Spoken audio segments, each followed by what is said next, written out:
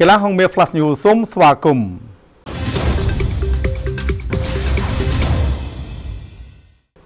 ថ្លែងនៅក្នុងឱកាសមហាសន្និបាតបញ្ចប់អាណត្តិចាស់បន្តអាណត្តិថ្មី របស់សហព័ន្ធកីឡាករ៉ាត់តេកម្ពុជាឯកឧត្តមវត្តចម្រើនជំរុញយុទ្ធសាស្ត្រអភិវឌ្ឍកីឡាករកីឡាតេវ័យក្មេងឆ្ពោះទៅរកភាពជោគជ័យនៅក្នុងការប្រកួតកីឡាយុវជនអាស៊ីដែលកម្ពុជាធ្វើជាម្ចាស់ផ្ទះនៅឆ្នាំ2029 អាដាមវត្តចម្រើនអគ្គលេខាធិការសហព័ន្ធកីឡាការ៉ាតេកម្ពុជាបានជំរុញដល់ប្រធានក្លឹបនិងគ្រូបង្វឹកតាមក្លឹបកីឡាការ៉ាតេរាជធានីខេត្តទាំងអស់ផ្ដោតការយកចិត្តទុកដាក់ទៅលើយុទ្ធសាស្ត្រនៃការអភិវឌ្ឍយុវជនត្រៀមឈ្មោះទៅធ្វើជាម្ចាស់ផ្ទះការប្រកួតកីឡាយុវជនអាស៊ីលើកទី5នៅឆ្នាំ2029នៅក្នុងមហាសន្និបាតបញ្ចប់អាណត្តិទី9និងបន្តអាណត្តិថ្មីទី10ពីឆ្នាំ2024ដល់ឆ្នាំ2028 អាដាមវត្តចម្រើនបានសង្កត់ធ្ងន់ថាការប្រកួតកីឡាយុវជនអាស៊ីនៅឆ្នាំ2029ដែលកម្ពុជាធ្វើជាម្ចាស់ផ្ទះគឺគេកំណត់កម្រិតអាយុក្រោម19ឆ្នាំ18ឆ្នាំនិង17ឆ្នាំសព័ន្ធកំពុងតែរៀបចំកម្មវិធីអភិវឌ្ឍកីឡាករ៉ាត់តេវ័យក្មេងដែលសព័ន្ធនឹងរៀបចំកម្មវិធីលំអិតកម្មវិធីអភិវឌ្ឍកីឡាករ៉ាត់តេវ័យក្មេងអាចធ្វើឲ្យជោគជ័យទៅបានអាស្រ័យដោយគ្រូបំបុក ប្រធានក្លឹបទាំងអស់ជួយរៀបចំកម្មវិធីនេះឡើងព្រមគ្នា នៅក្នុងគោលដៅធ្វើយ៉ាងណាប្រម៉ែប្រមូលកីឡាករកីឡាករនីវ័យក្មេងៗឲ្យបានច្រើន ហើយត្រូវចម្រាញ់យកធនធានប្រកបទៅដោយទេពកោសល្យនិងគុណភាពល្អៗចេញពីនៅក្នុងចំណោមពួកគេដើម្បីប្រមូលផ្ដុំវឹកហាត់ឲ្យខ្លាចទៅជាក្រុមជម្រើសជាតិរបស់យើង។ អាដាមវត្តចម្រើនបានចាត់ទុកថានេះគឺជាយុទ្ធសាស្ត្រដ៏សំខាន់នៅក្នុងអាណត្តិទី10ពីឆ្នាំ2024ដល់ឆ្នាំ2028របស់សហព័ន្ធ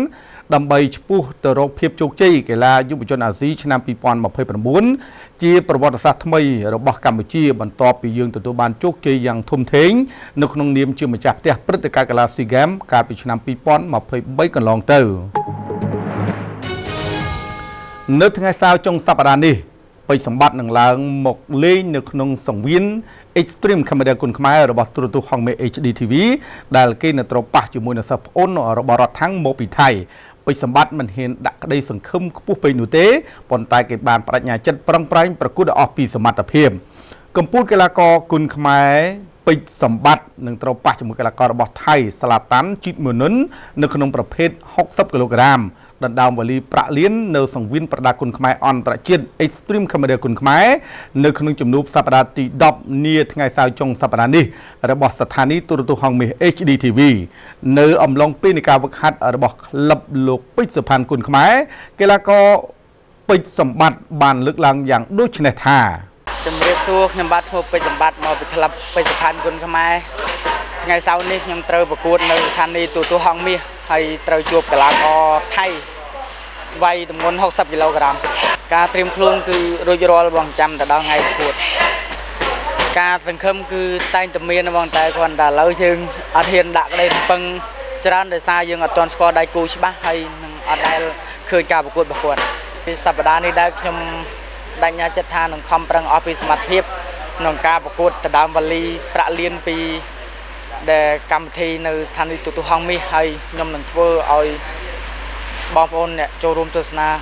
មិនឲ្យបងប្អូនខកបំណងក្នុងការប្រកួតខ្ញុំនៅថ្ងៃសៅរ៍នេះទេហើយក៏សូមអរគុណបងប្អូនហើយសូមបងប្អូនចូលរួមគ្រប់គ្រងដែល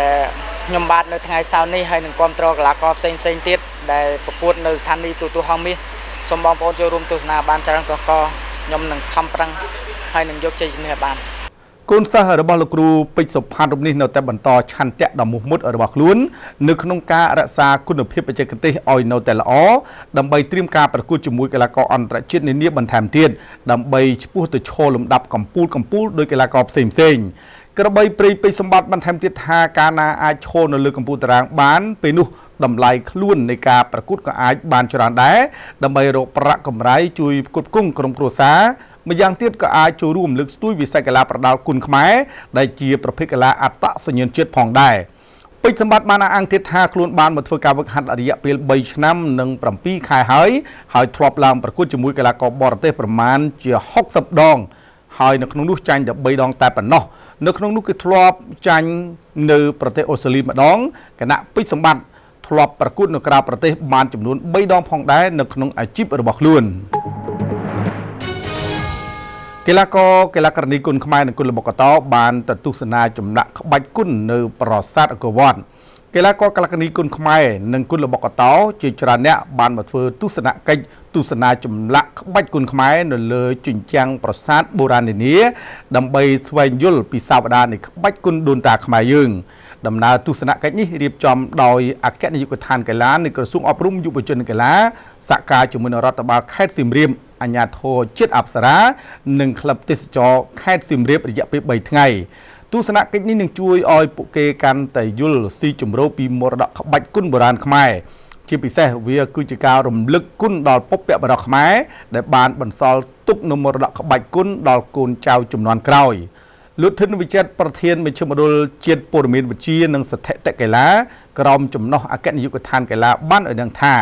ដំណើរទស្សនកិច្ចនេះគឺជាទស្សនីយភាពមួយ នៅក្នុងទិសដៅលើកកម្ពស់ក្បាច់គុណបុរាណខ្មែរដែលបានបន្សល់ទុកពីដូនតាមកលោកធិនវិចិត្របញ្ជាក់បន្ថែមទៀតថាក្រៅពីជួយឲ្យកីឡាករកីឡាកានីនិងថ្នាលបានស្វែងយល់អំពីក្បាច់គុណបុរាណដូនតាខ្មែរយើងហើយនោះ អគ្គនាយកដ្ឋានកីឡានឹងចងក្រង ជាឯកសារបន្ថែម ដើម្បីកំណត់អត្តសញ្ញាណគុណខ្មែរឲ្យបានច្បាស់លាស់ក្រុមទស្សនកិច្ចនេះបានដើរកំសាន្តនៅសួនរុក្ខជាតិអង្គរជិះកង់នៅក្នុងព្រៃអង្គររត់ឡើងភ្នំបាខែងទស្សនាចម្លាក់ក្បាច់គុណខ្មែរនៅតាមជញ្ជាំងប្រាសាទបាយ័នប្រាសាទអង្គរវត្តនិងប្រាសាទផ្សេងផ្សេងទៀតផងដែរ បើតាមលោកគង់ចន្ទទីណាដែលជាអគ្គលេខាធិការនិងជាគ្រូបំបឹករបស់សហព័ន្ធកីឡាហាប់គីដូកម្ពុជាបានដឹងថាក្រោយពីហាប់គីដូបានទទួលមេដាយភ្លុកទឹកភ្លុកដីពីការប្រកួតជើងឯកពិភពលោកឥឡូវនេះធ្វើឲ្យសហព័ន្ធហាប់គីដូមួយនេះកាន់តែមានប្រជាប្រិយភាពខ្លាំងឡើងខ្លាំងឡើង។ បន្ទាប់ពីទទួលបានជោគជ័យមហាធំធេងនៅក្នុងការឆ្នាំមេដាយមាសប្រាក់និងសំរិទ្ធដល់ទៅ40គ្រឿងពីការប្រកួតជើងឯកពិភពលោកនៅក្នុងប្រទេសថៃកាលពីដើមខែសីហាកន្លងទៅថ្មីថ្មីនេះប្រភេទកីឡាហាប់គីដូកម្ពុជាកាន់តែមានប្រជាប្រិយភាពខ្លាំងឡើងខ្លាំងឡើងហើយទទួលបានការចុះឈ្មោះចូលរួមធ្វើការវឹកហាត់របស់សិស្សគុណថ្មីថ្មីជាពិសេសកុមារតូចតូចតែម្ដងជុំវិញភាពលេចធ្លោនេះលោកគង់ច័ន្ទធីណាអគ្គលេខាធិការសហព័ន្ធនិងជាគ្រូបំបឹកខ្សែក្រវ៉ាត់កម្រិតខ្មៅ6ដាន សហព័ន្ធកីឡាហាប់គីដូកម្ពុជា បានលើកឡើងយ៉ាងដូចនេះថាបាទក្រោយពីយើងវិលត្រឡប់មកពីការប្រកួតវិញហើយក្រោយពីបណ្ដាញសារព័ត៌មានយើងបានលើកទឹកចិត្តផ្សព្វផ្សាយដល់ក្រុមកីឡាហាប់គីដូយើង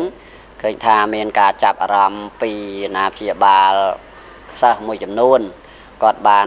មានការតំណាក់តំណងមកជាបណ្ដាបណ្ដាហើយខ្លះក៏ចូលបានហាត់បណ្ដាបណ្ដាហើយជាពិសេសគឺយើង សំដៅទៅលើកុមារាកុមារីទូចទូចភាគច្រើនគឺសហព័ន្ធហាប់គីដូទទួលបានតែក្មេងតូចតូច